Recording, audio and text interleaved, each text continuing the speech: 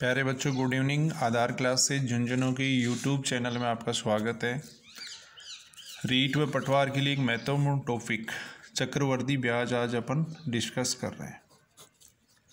चक्रवर्ती ब्याज यानी compound interest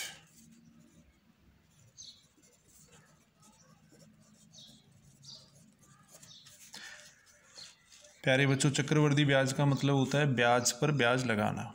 यानी प्रत्येक वर्ष जो ब्याज आता है उस पर पुनः अगले साल ब्याज लगाया जाता है। तो वो कहलाता है चक्रवर्ती ब्याज। इस टॉपिक को पढ़ने के लिए वैसे अपने को कोई सूत्र की ज़रूरत नहीं पड़ेगी। सारे क्वेश्चन अपन शॉर्ट ट्रिक से करेंगे, लेकिन फिर भी अगर इसका सूत्र देखें तो सूत्र होता है चक्रवर्ती ब्याज। बराबर होता है मूलधन इंटू वन प्लस दर बट्टे सौ की पावर समय माइनस मूलधन। मूलधन का मतलब होता है, जो राशि अपन उधार देते हैं, वो मूलधन कहलाता है। दर का मतलब होता है, बारह महीने का सौ रुपये का ब्याज, दर कहलाता है। जैसे दर दस प्रतिशत है तो इसका मतलब क्या हुआ? कि बारह महीने का सौ रुपये का जो ब्याज होगा, वो कितना होगा? दस रुपये। चक्रवर्ती ब्याज निकालने के लिए जो ये राशि आएगी, उसमें से मूलधन को कम कर देंगे तो चक्रवर्ती ब्याज आ जाएगा। अगर अपने को मिश्र धन निकालना है मिश्र धन का मतलब है टोटल राशि। तब उसका फॉर्मूला हो जाएगा मूलधन इंटू वन प्लस दर बट्टे सौ की पावर समय। कुछ क्वेश्चन अपन करके देखते हैं, प्यारे बच्चों। सौ ट्रिक से अपन कुछ क्वेश्चन कर रहे हैं।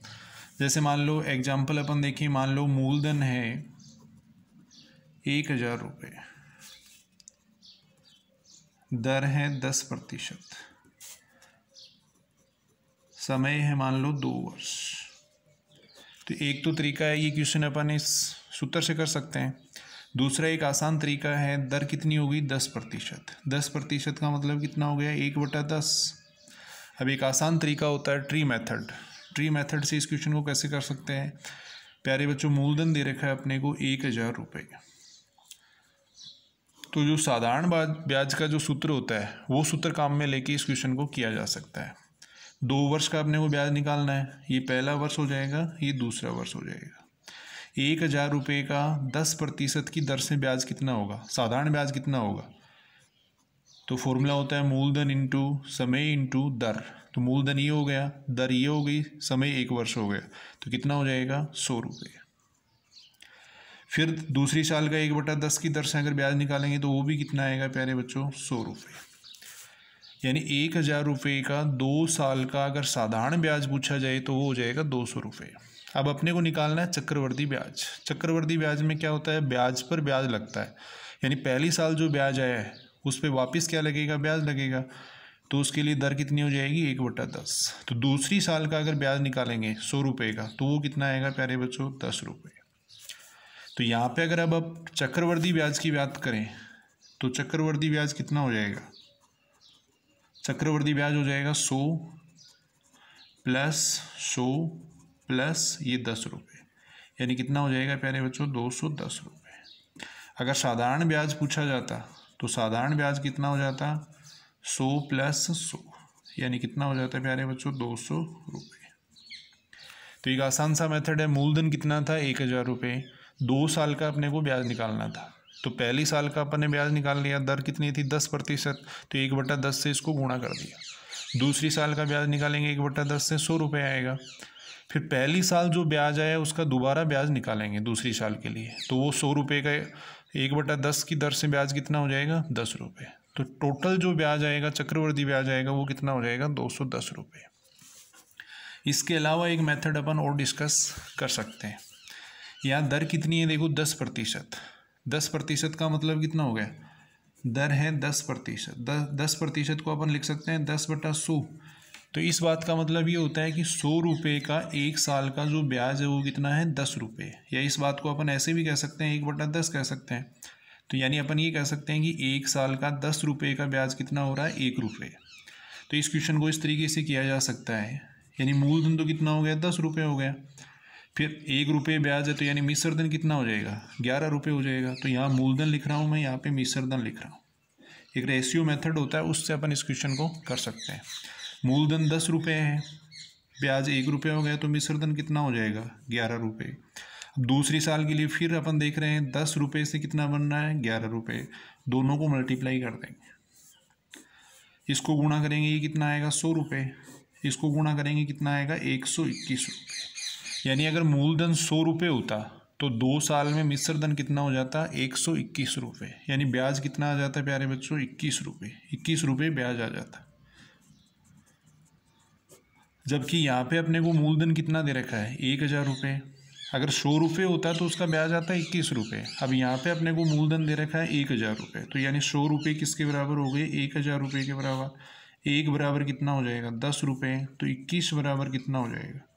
इक्कीस गुणा दस, यानी कितना हो जाएगा प्यारे बच्चों? दो सौ दस रुपये तो इस मेथड से भी इस क्वेश्चन को आसानी से अपन कर सकते हैं।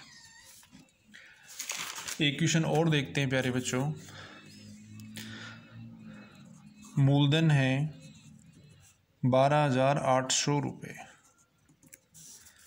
दर दे रखी है पच्चीस प्रतिशत। समय दे रखा है दो वर्ष। चक्रवर्ती ब्याज अपने को पूछा गया है। चक्रवर्ती ब्याज, प्यारे बच्चों, अपने को पूछा गया है। दर पच्चीस प्रतिशत है। पच्चीस प्रतिशत का मतलब कितना हो जाएगा, प्यारे बच्चों? एक बटा चार। ट्री मेथड से इस क्वेश्चन को करते हैं। मूलधन कितना है? बारह हज़ार आठ सौ रुपये दो साल का ब्याज निकालना है। ये पहला साल हो गया, ये दूसरा साल हो गया। पहली साल का ब्याज कितना हो जाएगा? एक बट्टा चार से इसको गुणा करेंगे तो यह आएगा चार ती बारह, चार दूनी आठ, यानी बत्तीस सौ रुपये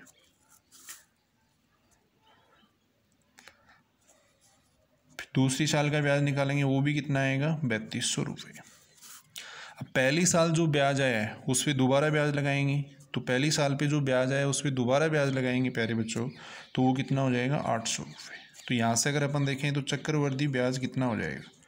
चक्रवर्ती ब्याज हो जाएगा बैतीस सौ प्लस बैतीस सौ प्लस आठ सौ। यानी प्यारे बच्चों, कितना हो जाएगा? बहत्तर सौ रुपये साधारण ब्याज अगर पूछा जाता तो कितना हो जाता है प्यारे बच्चों? चौंसठ सौ रुपये टोटल कितना हो गया ये? बहत्तर सौ रुपये दूसरा जो रेशियो मेथड है, उससे अगर करें तो दर यहाँ पे कितनी है? एक बटा चार। यानी मूलधन, मिश्रधन। मूलधन अगर चार है तो ब्याज कितना आएगा? एक रुपये आएगा उस पर तो मिश्रधन कितना हो जाएगा? पाँच। दो साल हैं इसलिए फिर चार और फिर पाँच लिख लेंगे। दो साल के लिए दो बार गुणा कर देंगे, अगर तीन साल होता तो इसको तीन बार गुणा कर देते। हैं तो ये हो गया सोलह रुपये। ये कितना हो गया प्यारे बच्चों? पच्चीस रुपये। तो सोलह रुपये का जो मूलधन है, वो कितना बन जाएगा? पच्चीस रुपये बन जाएगा। यानी ब्याज कितना हो गया प्यारे बच्चों? नौ रुपये। मूलधन अगर सोलह रुपये है तो ब्याज कितना आएगा? नौ रुपये जबकि अपने को यहाँ पे मूलधन दे रखा है कितना? बारह हज़ार आठ सौ रुपये। तो एक बराबर कितना हो जाएगा? नौ सौ रुपये या आठ सौ रुपये सॉरी आठ सौ रुपये हो जाएगा। तो नौ रुपये ब्याज कितना आ जाएगा? यानी सोलह यूनिट का मान कितना हो गया? बारह हज़ार आठ सौ हो गए। तो एक यूनिट का मान हो जाएगा आठ सौ। जबकि ब्याज कितना है? नौ यूनिट है। तो नौ यूनिट का हो जाएगा नौ गुना आठ सौ, यानी कितना हो जाएगा? बहत्तर सौ रुपये वैसे ट्री मेथड से आसानी से अपन क्वेश्चन कर सकते हैं। नेक्स्ट क्वेश्चन है, प्यारे बच्चों। मूलधन दे रखा है बहत्तर सौ रुपये मूलधन दे रखा है बहत्तर सौ रुपये दर दे रखी है सोलह सही दो बट्टा तीन प्रतिशत। समय दे रखा है दो वर्ष। चक्रवर्ती ब्याज अपने को ज्ञात करना है। दर सोलह से ही दो बटा तीन प्रतिशत है, इसका मतलब कितना हो जाएगा? एक बटा छः तो प्यारे बच्चों ट्री मेथड से इस क्वेश्चन को करें तो बहत्तर सौ रुपये दो साल का ब्याज अपने को निकालना है। फ़र्स्ट ईयर हो जाएगा, ये सेकेंड ईयर हो जाएगा। एक बटा छः की दर से ये कितना आएगा? बारह सौ रुपये फिर एक बटा छः की दर से ये कितना आएगा? बारह सौ रुपये अब जो पहली साल का ब्याज है उस पर दूसरी साल फिर ब्याज निकालेंगे तो वो कितना हो जाएगा? दो सौ रुपये तो सा, ये, अगर अपने को पूछा जाता साधारण ब्याज तो साधारण ब्याज कितना हो जाता है प्यारे बच्चों? बारह सौ प्लस बारह सौ यानी कितना हो जाता? है चौबीस सौ रुपये चक्रवर्ती ब्याज अगर पूछा जाए तो चक्रवर्ती ब्याज कितना हो जाएगा? बारह सौ प्लस बारह सौ प्लस दो सौ, यानी कितना हो जाएगा? छब्बीस सौ रुपये। अगर अपने को ये पूछा जाता कि दूसरे वर्ष का चक्रवर्ती ब्याज क्या होगा तो दूसरे वर्ष का चक्रवर्ती ब्याज क्या हो जाता? है अगर इसी क्वेश्चन में अगर अपने को ये पूछा जाता कि दूसरे वर्ष का चक्रवर्ती ब्याज क्या आएगा तो दूसरे वर्ष का चक्रवर्ती ब्याज कितना हो जाएगा, प्यारे बच्चों? बारह सौ प्लस दो सौ, यानी कितना हो जाएगा? चौदह सौ। अब यहाँ पे अपने को चक्रवर्ती ब्याज पूछा गया था तो अपना जो आंसर है वो हो जाएगा चक्रवर्ती ब्याज। ये आंसर हो जाएगा। अगर अपने को तीन साल के लिए पूछा जाए, एक क्वेश्चन अपन करके देखते हैं प्यारे बच्चों। मूलधन है दस हज़ार रुपये दर है दस प्रतिशत। समय दे रखा है अपने को तीन वर्ष। चक्रवर्ती ब्याज अपने को पूछा गया है। दर दस प्रतिशत का मतलब कितना हो जाएगा? एक बटा दस। अब इस क्वेश्चन को थोड़ा समझना प्यारे बच्चों। मूलधन था दस हज़ार रुपये तीन साल का अपने को ब्याज निकालना है। ये फ़र्स्ट सेकेंड थर्ड पहली साल का ब्याज कितना हो जाएगा? एक बटा दस तो यह आएगा कितना? एक हज़ार रुपये दूसरी साल का कितना हो जाएगा? फिर एक हज़ार रुपये तीसरी साल का फिर कितना हो जाएगा? एक हज़ार रुपये अब पहली साल जो ब्याज आया है उस पर दोबारा ब्याज लगेगा। तो एक बटा दस की दर से इसका ब्याज कितना हो जाएगा? प्यारे बच्चों, सौ रुपये अब अपन तीसरी साल का चक्रवर्ती ब्याज निकालेंगे। तो इससे पहले जो भी ब्याज है, उन सब पे क्या लगेगा? वापस ब्याज लगेगा। तो एक हज़ार रुपये का अगर ब्याज देखें तो ये कितना हो जाएगा? एक बटा दस की दर से सौ रुपये फिर ये जो ब्याज है, इस पर भी ब्याज लगेगा। इस पर ब्याज लगेगा तो ये कितना बन जाएगा? एक बटा दस की दर से कितना हो जाएगा प्यारे बच्चों? सौ रुपये फिर दूसरे साल जो ब्याज है, उस पर फिर ब्याज लगेगा। तो उस पर ब्याज लगेगा तो ये भी कितना हो जाएगा प्यारे बच्चों? दस रुपये एक बार दोबारा इस बात को समझना, एक हज़ार, दस हज़ार रुपये मूलधन था। पहली साल का ब्याज कितना हो गया? एक हज़ार रुपये दूसरी साल का ब्याज एक हज़ार रुपये तीसरी साल का ब्याज एक हज़ार रुपये पहली साल जो ब्याज आया है, उस पर दूसरी साल दोबारा ब्याज निकालेंगे तो उसका ब्याज हो जाएगा सौ रुपये अब तीसरी साल का चक्रवर्ती ब्याज निकालने के लिए अपन पीछे जितने भी ब्याज हैं, उन सब पे ब्याज लगेगा। तो दस एक हज़ार रुपये का अपने ब्याज निकाला है, इस एक हज़ार रुपये का ब्याज हो गया सौ रुपये ये जो सौ रुपये थे, इसका ब्याज हो गया दस रुपये तो यहाँ से चक्रवर्ती ब्याज कितना हो जाएगा, प्यारे बच्चों? एक हज़ार प्लस एक हज़ार प्लस एक हज़ार प्लस सौ प्लस सौ प्लस सौ और प्लस दस। यानी प्यारे बच्चों, कितना हो जाएगा? तीन हज़ार, यानी तैंतीस सौ दस रुपये तैंतीस सौ दस रुपये चक्रवर्ती ब्याज हो जाएगा। एक क्वेश्चन और समझते हैं अपन।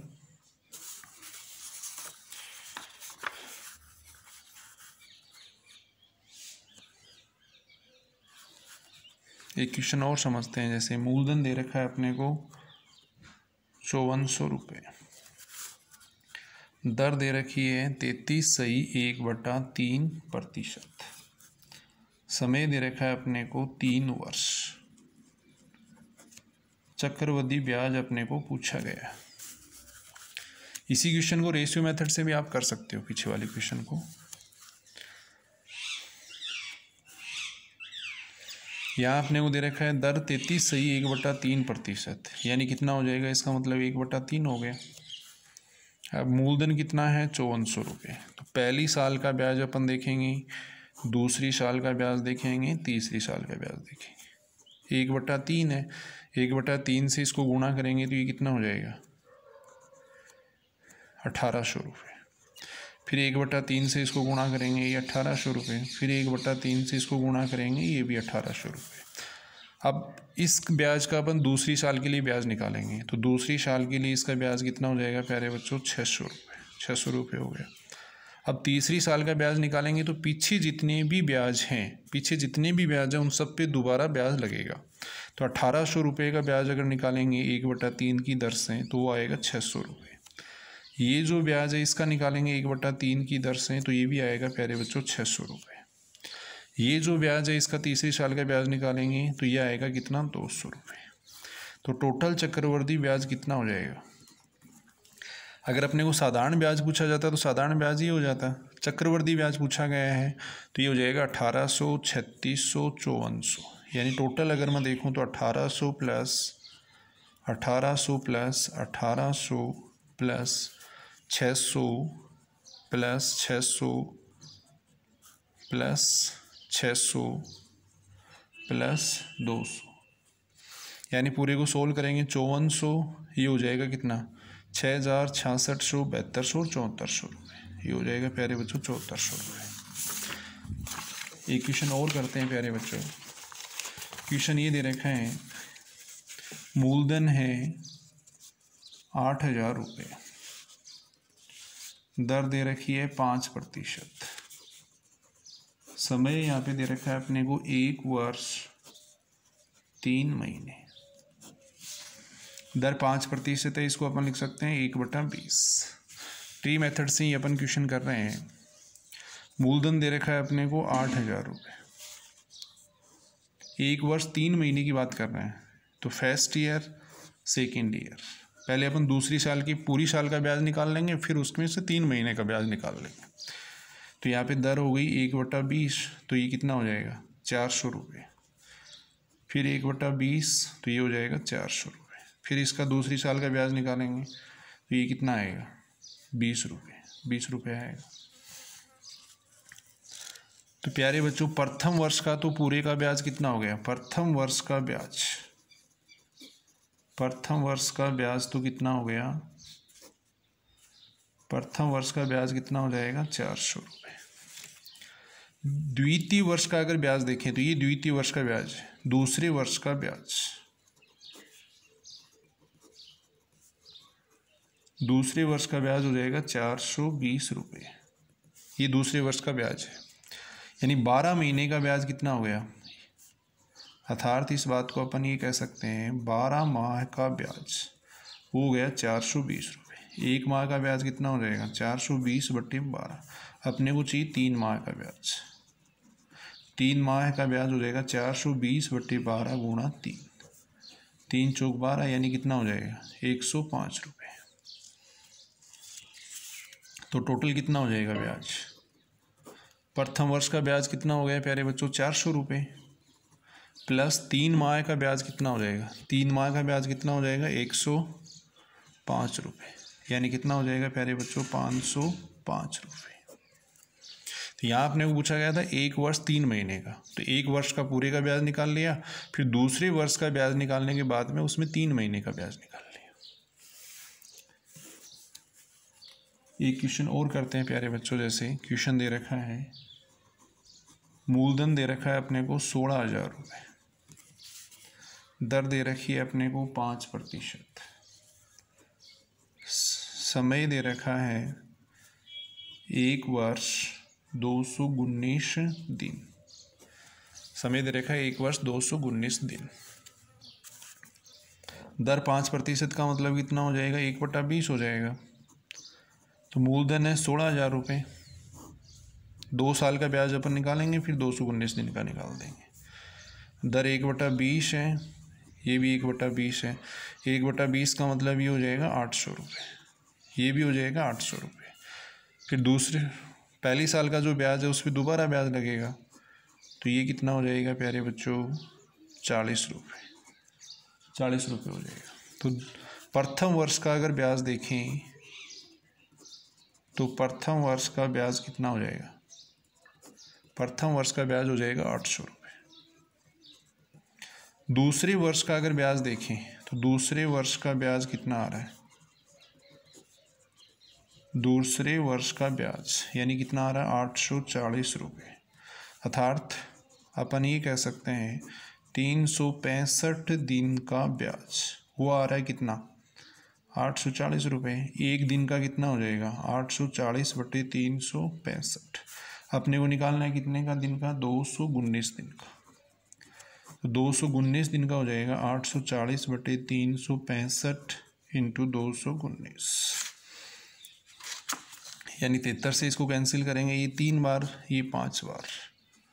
पूरे को सोल्व करेंगे, इसको तो ये बनेगा पाँच सौ चार रुपये तो ब्याज कितना आ जाएगा? चक्रवर्ती ब्याज कितना हो जाएगा? प्रथम वर्ष का ब्याज कितना हो गया था प्यारे बच्चों? आठ सौ रुपये प्लस पाँच सौ चार रुपये हो गया दो सौ उन्नीस दिन का ब्याज। यानी कितना हो जाएगा? तेरह सौ चार रुपये। तेरह सौ चार रुपये ब्याज हो जाएगा एक लास्ट क्वेश्चन इसी तरीके का अपन कर रहे हैं, प्यारे बच्चों। मूलधन है दस हज़ार दो सौ चालीस रुपये।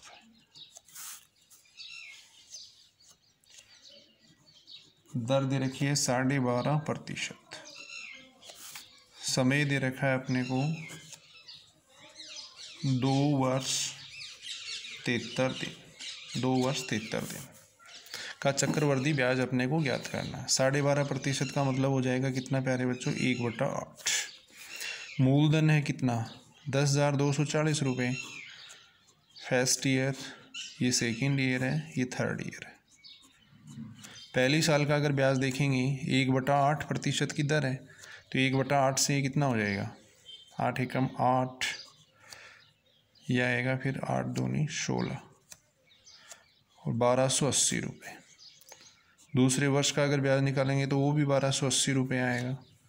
तीसरे साल का अगर ब्याज निकालेंगे तो वो भी आएगा बारह सौ अस्सी रुपये पहली साल जो ब्याज आया, इस पर दोबारा ब्याज लगेगा तो एक बटा आठ की दर से दोबारा ब्याज कितना हो जाएगा? एक सौ साठ रुपये अब तीसरी साल का चक्रवर्ती ब्याज निकालेंगे तो पीछे जितने भी ब्याज हैं उन पर ब्याज लगेगा। तो एक बटा आठ की दर से इसका ब्याज निकालेंगे, ये एक सौ साठ रुपये आएगा। इसका ब्याज निकालेंगे, ये भी एक सौ साठ आएगा। फिर इसका ब्याज निकालेंगे तो ये आएगा कितना? बीस रुपये। बीस रुपये हो गया। तो प्यारे बच्चों यहाँ अपने को दो वर्ष तिहत्तर दिन का ब्याज पूछा है। दो वर्ष का ब्याज कितना हो जाएगा? दो वर्ष का ब्याज। दो वर्ष का ब्याज कौन सा हो गया? बारह सौ अस्सी प्लस बारह सौ अस्सी प्लस एक सौ साठ। ये दो वर्ष का ब्याज हो जाएगा। तीसरे वर्ष का अगर ब्याज देखें, दो वर्ष का ब्याज ही हो गया, बारह सौ अस्सी प्लस बारह सौ अस्सी प्लस एक सौ साठ। तीसरे वर्ष का ब्याज अगर देखें तो वो आएगा बारह सौ अस्सी प्लस एक सौ साठ प्लस एक सौ साठ प्लस बीस।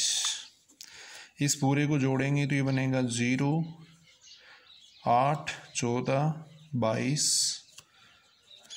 दो आएगा, तीन, चार, और दो छः। ये हो जाएगा सोलह सौ बीस रुपये सोलह सौ बीस रुपये तीसरे वर्ष का ब्याज कितना आया? सोलह सौ बीस रुपये अपने को निकालना है तिहत्तर दिन का, यानी तीन सौ पैंसठ दिन का जो ब्याज आया है वो कितना आया है? सोलह सौ बीस रुपये। तो एक दिन का कितना आ जाएगा? सोलह सौ बीस बट्टे तीन सौ पैंसठ। अपने को निकालना है तिहत्तर दिन का। तो तिहत्तर दिन के निकालने के लिए क्या करेंगे?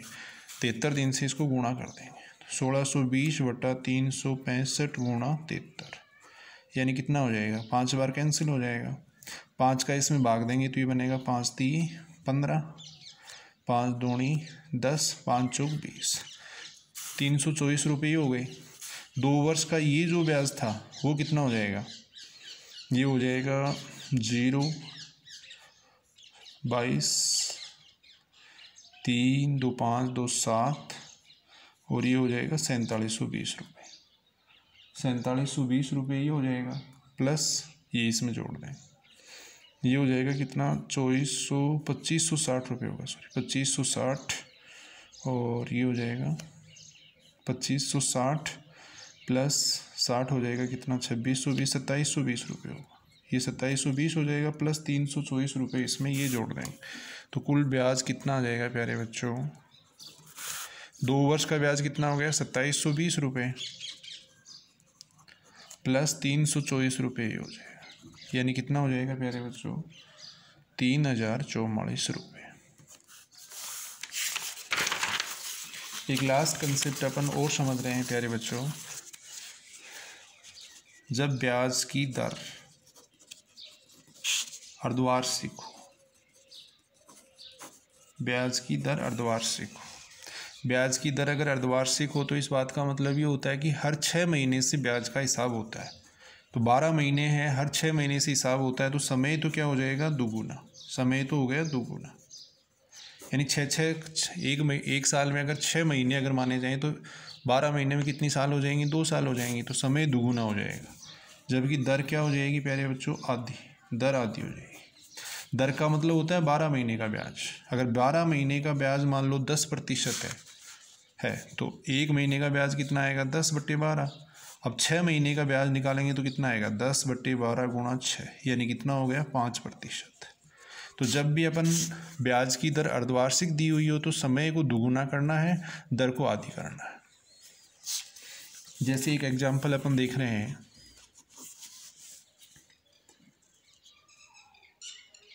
क्वेश्चन दे रखा है, मूलधन दे रखा है अपने को आठ हज़ार रुपये दर दे रखी है अपने को दस प्रतिशत। समय दे रखा है अपने को नौ माह नौ माह दे रखा है। तो यहाँ ब्याज की दर अर्धवार्षिक है। ब्याज की दर क्वेश्चन में दे रखा है कि ब्याज की दर अर्धवार्षिक। ब्याज की दर अर्धवार्षिक है। तो यहाँ पे दर तो कितनी हो जाएगी? आधी हो जाएगी। यानी कितनी हो जाएगी? पाँच प्रतिशत। समय कितना हो जाएगा? नौ माह का दुगुना हो जाएगा। यानी कितना हो जाएगा? प्यारे बच्चों अट्ठारह माह। अठारह माह का मतलब हो जाएगा एक वर्ष छः माह। दर पाँच प्रतिशत है। तो मूलधन अपने को दे रखा है। वो ट्री मेथड अपन काम में ले रहे हैं। मूलधन दे रखा है अपने को कितना? आठ हज़ार रुपये दर पाँच प्रतिशत है। इसका मतलब एक बटा बीस। एक बटा बीस से इसका अगर अपन ब्याज निकालेंगे तो कितना आएगा प्यारे बच्चों? चार सौ रुपये फिर इसका ब्याज निकालेंगे चार सौ रुपये आएगा। अब ये जो ब्याज है, इसका दूसरी साल का ब्याज निकालेंगे तो ये कितना हो जाएगा प्यारे बच्चों? बीस रुपये बीस रुपये हो जाएगा। अब प्रथम वर्ष का ब्याज तो कितना आ गया? प्रथम वर्ष का ब्याज। प्रथम वर्ष का ब्याज कितना हो जाएगा? चार सौ रुपये। दूसरे वर्ष का ब्याज। दूसरे वर्ष का अगर ब्याज देखा जाए तो वो हो जाएगा चार सौ बीस रुपये। अर्थात बारह माह का ब्याज, अर्थात बारह माह का ब्याज। वो कितना हो गया? चार सौ बीस रुपये एक माह का कितना हो जाएगा? चार सौ बीस बट्टे बारह। अपने वो चाहिए छः माह का ब्याज। तो छः माह का ब्याज हो जाएगा चार सौ बीस बट्टे बारह इंटू छः ये इससे कैंसिल हो जाएगा, यानी कितना हो जाएगा? दो सौ दस रुपये तो टोटल ब्याज कितना आ जाएगा प्यारे बच्चों? प्रथम वर्ष का हो गया चार सौ दूस छः माह का हो जाएगा दो सौ दस रुपये यानी कितना आ जाएगा? छः सौ दस रुपये इसी प्रकार, जब ब्याज की दर त्रैमासिक हो,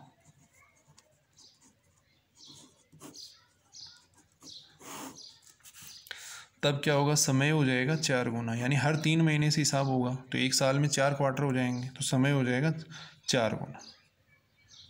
समय हो जाएगा चार गुना। जबकि दर क्या हो जाएगी? एक चौथाई। दर हो जाएगी एक चौथाई। वही तरीका बारह महीने की जो दर दे रखी है तो उसमें चार में, तीन महीने की अगर दर निकालेंगे तो चार का भाग लग जाएगा उसके अंदर। जैसे एक एग्जांपल है, क्वेश्चन है, मूलधन दे रखा है जैसे अपने को बारह हज़ार रुपये दर दे रखी है अपने को चालीस प्रतिशत। समय दे रखा है अपने को छः माह। छः माह दे रखा है। क्वेश्चन में दे रखा है? ब्याज की जो दर है वो त्रैमासिक है। ब्याज की दर त्रैमासिक है। ब्याज की दर।